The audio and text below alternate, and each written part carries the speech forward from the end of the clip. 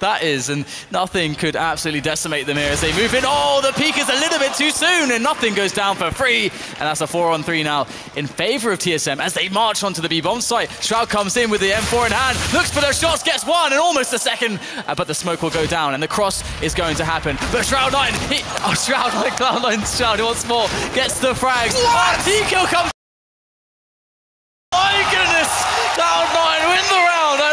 My eyes. It happened though, and they are on the comeback trail. I bow down to Shroud. After that kill onto nothing when it was hiding in that super weird spot towards T-spawn, I was